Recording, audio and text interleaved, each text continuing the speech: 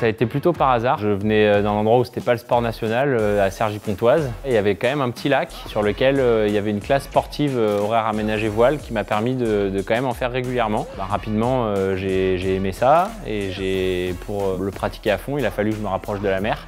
Et c'est pour ça que le Havre a été parfait pour moi parce que c'était la ville la plus proche.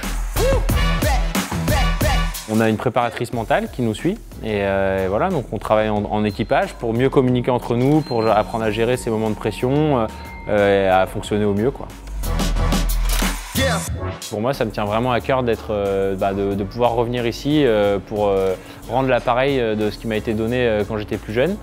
Et du coup, je suis très fier de pouvoir être ambassadeur parce que pour moi, c'est véhiculer les, valeurs, les valeurs de la ville. Donc en 470, ça fait depuis 2008 euh, que je navigue dessus.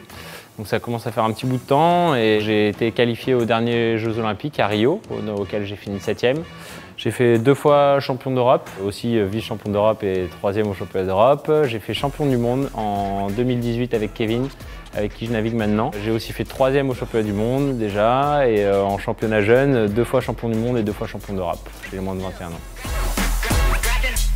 On a rempli la première étape qui était de nous qualifier au, JO avec Kevin. On a vraiment en ligne de mire euh, ces, Jeux Olympiques euh, qui auront lieu en 2021.